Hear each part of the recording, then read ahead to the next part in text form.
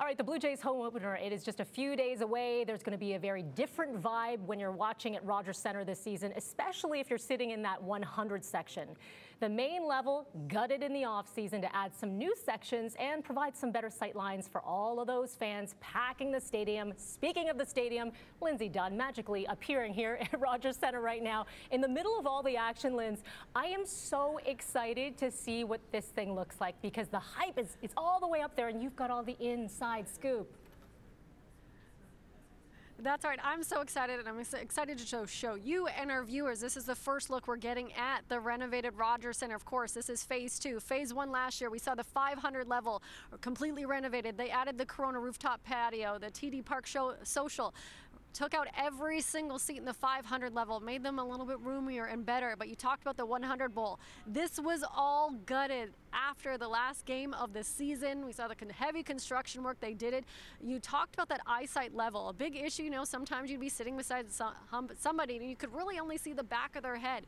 They're more roomy. You can actually see the game. You can actually see the play of game. And it's all been changed. They've even moved it a little bit closer so that the fans are not underneath kind of like the barricades or the overhanging roof from the seats above. It's roomier. It's more of a ballpark feel, which has been a complaint for fans since what 1989 here. This is the most renovations that this ballpark has seen then. And here's a little fun fact I didn't know, I don't think most viewers knew about, but the dugouts.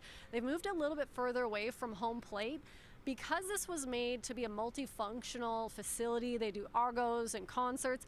The dugouts before were not permanent, so half the stuff here they'd have to like run to different parts of uh, behind here to the different clubhouses and stuff to get to the dugout to bring it for the players to use.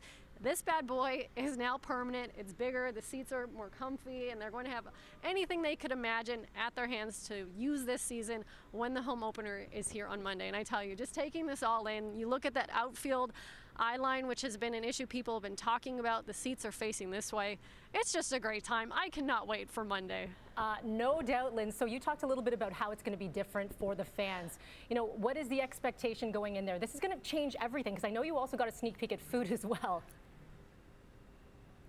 That's right. When we talk about changes about fans, so let's take a look at behind home plate. This is completely different than anything we've ever seen here. This is the premium section. Look at those seats. There's more room and there's the aisles are a little bit shorter. Like, hey, it'd be a 40 row aisle. Now, what is it? 12 seats you only have to walk through. There's cup holders at every seat, not even just the premium one. That's a huge moment. But still, some of the construction is not done behind this area because after they laid the concrete, they had to let it set. There will be three premium lounges and clubs behind here that will be available about midway throughout uh, June. That was something that's already been planned. But if you look at those seats, it's just fantastic. And I had a chance to talk to one of the Jays organization members about how different this season is going to be for fans.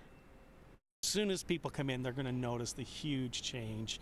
Uh, the fact that the stands are, are different orientation, you go in the right and left field corner. We're actually looking at the infield. We're looking at the uh, pitching mound, where previously you're kind of looking, staring off into center field. The other thing is because they're tr- the one of the goals was to get everybody more into the action. The seats were brought in. The foul territory was reduced significantly. If you're looking at just the green portion of the field, we actually reduced that by about 9,000 square feet compared to compared to last year.